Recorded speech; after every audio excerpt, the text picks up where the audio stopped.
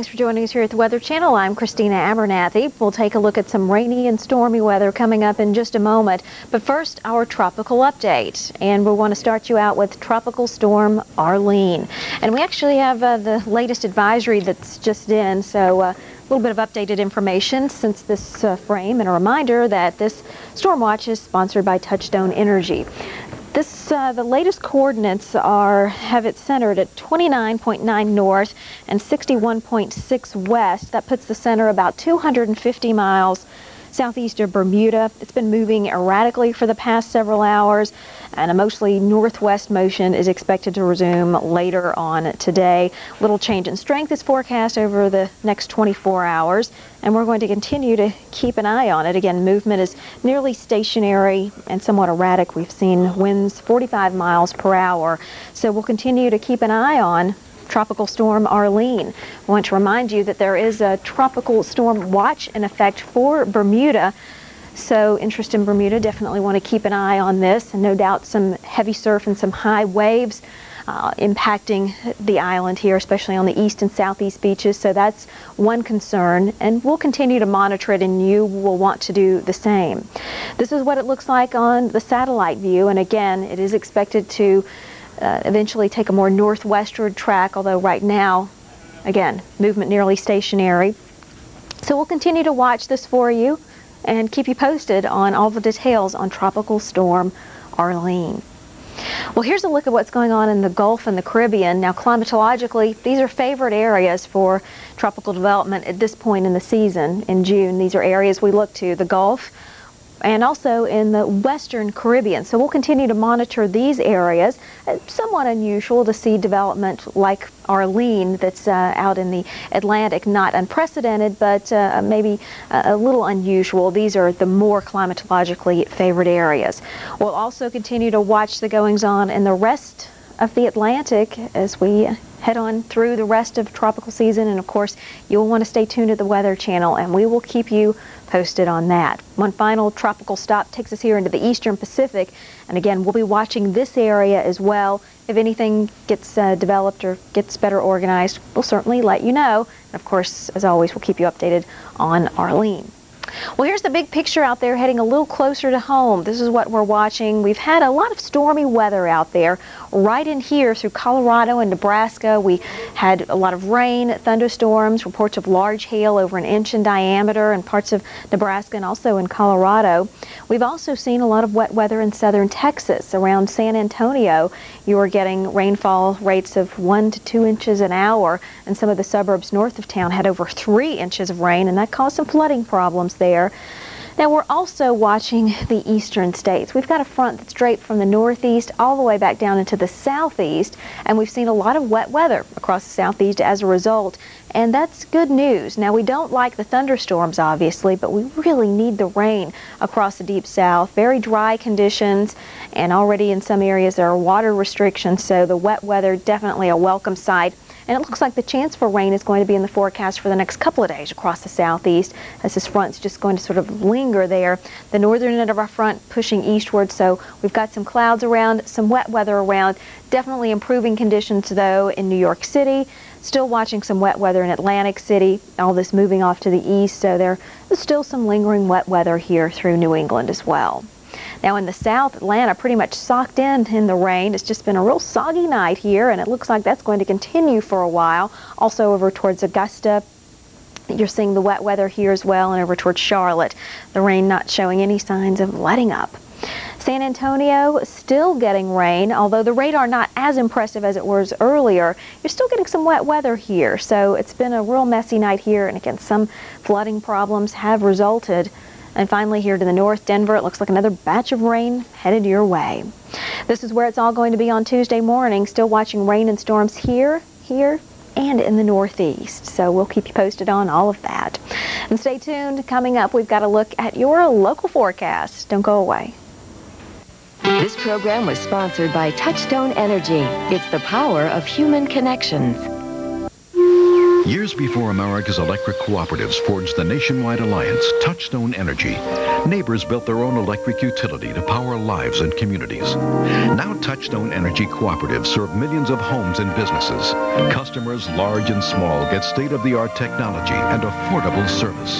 From the one-room schoolhouse to the communities and businesses of tomorrow, trust Touchstone Energy, the power of human connections. We are America's electric cooperatives. So you spot a termite. Problem is, he's just one of many. Beat the termites with the Terminix team and our termite baiting program featuring Sentricon. Call 1-800-TERMINIX. No bugs, no hassle.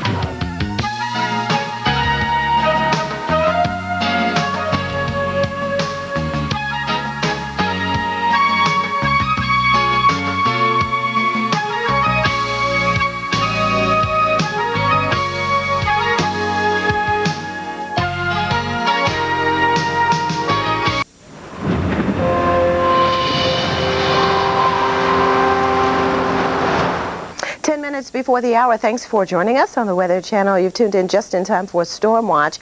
Of course, we're focusing on our tropical uh, situation because Tropical Storm Arlene is churning the waters of the Atlantic. This edition of Storm Watch, by the way, is sponsored by Rayovac. Here is the latest on Arlene as of the 5 o'clock advisory from the National Hurricane Center. It centers the storm at 29.7 degrees north, 61.7 degrees west, and that puts it 255 miles southeast of the island of Bermuda. Winds of 45 miles an hour. It is moving very slowly west-northwest there you see it only 5 miles an hour. The estimated central pressure is 1,012 millibars. Arlene is expected to continue on this course over the next 12 hours. That will bring it closer to the island of Bermuda. Thus, tropical storm watches have been issued for the entire island. Here's a look at our latest satellite picture. We've uh, enhanced the higher and uh, the colder cloud tops to show you where the deepest convection is found. And it's basically basically right here in a circle wrapping around, but it's not wrapping around the center of circulation. The center of circulation is still well to the west of the deepest convection. So that's uh, an indication that this system is not nearly as organized, of course, as it could be, because for a very organized tropical system, we like to see the center of circulation in the middle of the dense overcast clouds, and that is not the case here. We've been watching a trough of low pressure to the west of Arlene, and actually this trough has been inhibiting the uh, deep convection to wrap on the western side of the center of circulation. So that is, in essence, some pretty good news, actually. Here's a closer inspection of Arlene, and it looks as though it's not taking on that concentric shape anymore. We're starting to see uh, an, a, glob here kind of separate out from the main area of convection, uh, but we'll continue to watch this very, very closely again as it moves west-northwest at about 5 miles an hour. Now the official forecast for Arlene is for it to get closer to the island of Bermuda and the center of circulation could very well go over the island within the next 36 hours, say tomorrow night into early, early Thursday morning. Now the good news about that is that remember the center of circulation is well west of the deepest convection. So if the center of circulation itself goes over the island, then that means the heaviest tropical rains and gusty winds will stay east of the island. We are hoping uh, perhaps that that is the case. Some of the computer models are taking the center of circulation to the west of the island, and if that is the scenario, then of course Bermuda will get some very, very heavy rain and gusty winds, and then some of the computer models are actually keeping the center of circulation well east of the island, and that will totally miss the island altogether. But the official forecast is for the center of circulation to go over the island of Bermuda as it will eventually start to take a northerly turn, picking up this trough here, and then with our next frontal boundary clearing the eastern seaboard, perhaps the whole system will get absorbed in our surface front. So we'll continue to watch it. Other than that, we've been watching an upper level low here in the eastern Gulf of Mexico. It seems to be drifting northward, not expected to develop into a tropical storm or anything, but it could bring some additional beneficial rains over parts of the southeast. Other than that, some higher clouds over Cuba and Jamaica, but no other organized tropical systems across the Atlantic basin. We've been watching the flare-up along the intertropical convergence zone here in the eastern Pacific, just west of Mexico, but here we have nothing organized at the moment. Let's check on current weather now.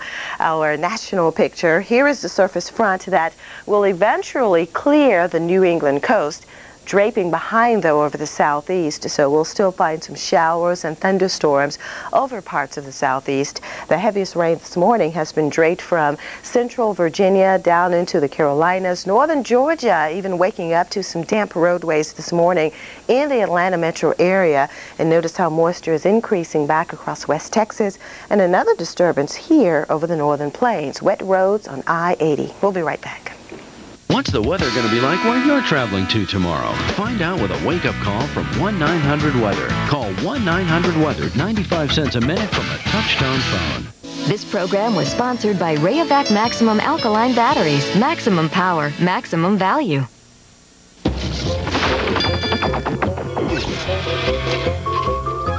Rayovac has the first alkaline battery that can be recharged, so its power lasts and lasts. And that can save you hundreds of dollars. So this Father's Day, instead of giving Dad something he'll never use, give him something he'll use over and over. Rayovac, rechargeable alkaline. Look for special savings on Rayovac chargers at these and other fine retailers. Imagine TV. I don't know, Stu. What?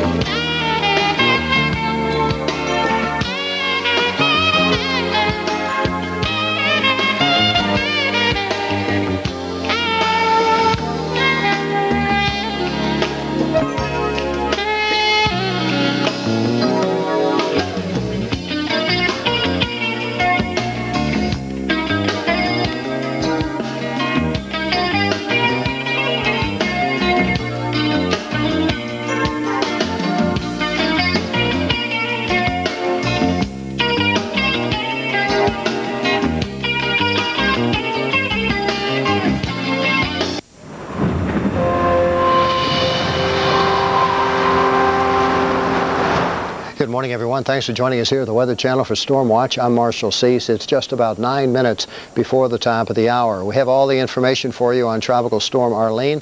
Want to give you the latest coordinates and tell you what the National Hurricane Center is thinking in terms of its prognosis. First, let's look at the coordinates. This is as 11 o'clock AST, which means Atlantic Standard Time, and that's generally the same as Eastern Daylight Time. This uh, tropical storm has not moved much. It's nearly stationary. The hurricane hunters, the Air Force Reserve, have been out there investigating this morning, and it looks as though Tropical Storm Arlene has strengthened a little bit. Looks like that's in response to some weakening shear from the west that it has encountered over the last couple of days.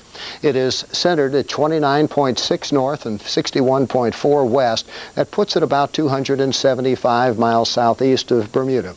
Its winds have increased to about 50 miles per hour from the previous 45, and uh, its pressure is down about 4 millibars. Uh, previously, it was about 1,012. It's now 1,008, and that equates into 29.77 inches of mercury. If you remember yesterday at this time, the government of Bermuda indicated that they were issuing a tropical storm watch. Tropical storm watch is still in effect. Now, the tropical storm force winds from Tropical Storm Arlene extend out about 115 miles. That puts it uh, about 150 miles from the outer point of those tropical storm storm force winds. So still has a ways to go and it is nearly stationary, but it is forecast to regain a west northwesterly movement as the day goes on today and perhaps even further strengthening.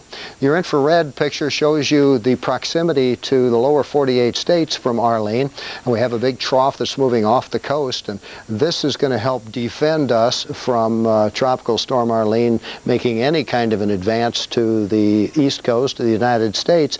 However, it is forecast to continue its movement to the west-northwest and then perhaps begin moving to the north after which it'll encounter colder water certainly and more shear probably out of the north. This would be a couple of days away and then weaken considerably. But before that time there is a potential for tropical storm Arlene to impact Bermuda if it moves to the east of Bermuda, which is currently its uh, official forecast, that would be good because the winds have been, uh, the strongest winds are on the east side of the uh, tropical storm. Meanwhile, if it moves to the west of the island, that would be the worst case scenario. But right now, the wind's just 50 miles per hour. Let's take a look at the center of circulation. I can show that to you graphically. This X marks the spot. That is the center of circulation. Now notice that it is still to the south and west of the convection, which is still well away from the center, and that means not much strengthening. If this were to begin to wrap around or become uh, more over the center of circulation, we would look for more strengthening. We can put this into motion for you so you can perhaps see that circulation. There you can right here, and the convection still away from the center. All of that good news for uh, folks uh, with Bermuda interests. Now, this big trough is what has been the uh, leading defender and the uh, uh, developer of those westerly winds that have uh, kept Tropical Storm Arlene from strengthening. So that's good nothing wrong here, but it looks as though that westerly shear has weakened somewhat. So we'll keep you advised of all the particulars of Tropical Storm Arlene over the next 24 hours or so. Could impact Bermuda as early as 2 o'clock tomorrow afternoon. Stay tuned to the Weather Channel for reports or at weather.com for latest reports. Meanwhile, these clouds are all associated with an upper-level low-pressure system. No tropical developments are expected out in the eastern Pacific either, but heavy rain today is expected in the southeast due to this front and possibly severe weather out in Nebraska. Coming up on Weather Center, will rain from the southeast to Texas turn to thunderstorms? And is your neighborhood at risk for flooding? Stay tuned for your complete forecast just ahead. This program was sponsored by Rayovac Maximum Alkaline Batteries. Maximum power, maximum value.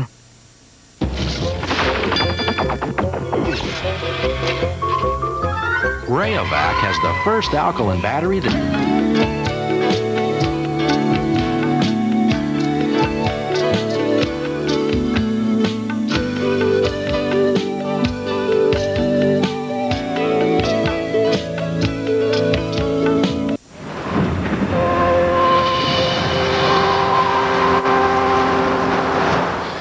time now for our storm watch. Of course, we begin tropical updates this time of the year, starting June 1st, especially when there's something going on. And tonight's a big night for one of our Weather Channel colleagues, Warren Madden. He is an Air Force reservist, and he is a part of the Hurricane Hunter crews. And he's actually going to be heading out uh, with the Hurricane Hunters tonight. I think it's his first flight heading into Arlene. So we wish him luck. We sent him some uh, Dramamine, and we hope he'll be just fine. And then hopefully we'll hear from him actually later on tonight. Tune in you may hear from Warren on the phone to give us an idea exactly what Arlene is doing. Some good news to pass along for you regarding Arlene. I'll do that in just a moment. 5 p.m. Atlantic Standard Time. So here's the advisory 30.1 north, 61.5 west, 245 miles to the southeast of Bermuda. Winds at 50. It's moving northwest at 3, and the pressure estimated at 1,010. We will have a much better idea of what the actual pressure is when the Hurricane Hunter aircraft gets out there. So they've left Charleston. They're about right here now, and they'll continue to make their way on off toward the east. Tropical storm watches continue for the island of Bermuda, and that is because, even though this system hasn't strengthened much, we think that tropical storm conditions could uh, impact the area, especially as we get into tonight, in the form of tropical storm force winds 39 miles an hour or, better. And the swells have also been incredible, 10 feet, maybe as high as 15 feet as we work our way on in time. Of course, the visible satellite imagery now is starting to get a little bit old because the sun's going down over the Atlantic, as we know. Sun setting uh, in the west here, but starts off getting a lot darker in the eastern Atlantic and then just sweeps across the east coast. Here's the center of circulation with Arlene.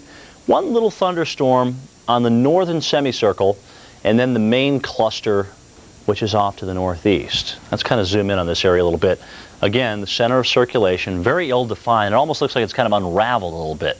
Typically, a more, in, if you think of a skater, when they spin the most is when he or she brings his or her arms in. Remember that? They spin a lot.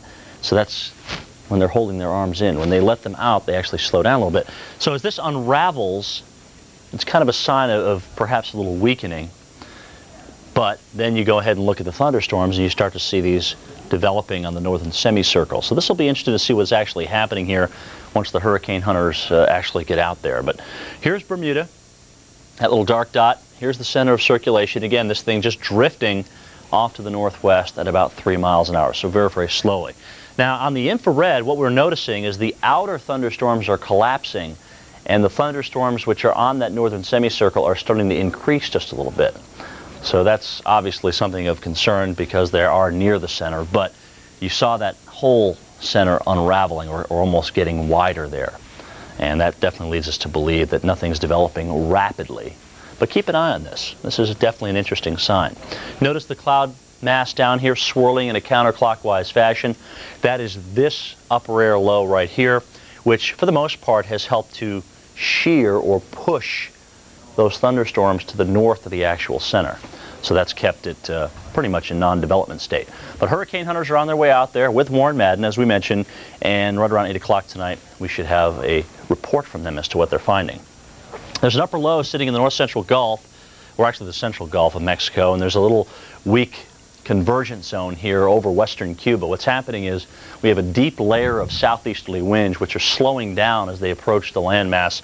So you're getting what we call speed convergence. In other words, if this air is moving at this speed and this air is moving at this speed, obviously you're going to get some type of convergence of the of the differential differential in the speed there. So we're getting some showers and thunderstorms, and those uh, could develop, but right now, no no signs of, of anything developing anytime soon. So good news. We'll keep an eye on it. Showers and storms south of the Gulf of Tehuantepec. Nothing organized in through here, but certainly an area of low pressure that bears watching, especially this time of the year. And as uh, John Hope mentioned earlier, it's kind of amazing that we've had one storm already named in the Atlantic and nothing in the Pacific yet. Usually it's the other way around as this hurricane season in the East Pac starts about a month earlier. High pressure dominating a good chunk of the northern tier. What a beautiful day today from St. Louis up to Philly into Boston. There's a secondary trough which is coming through the northeast right now, and that's helping to bring the cooler, drier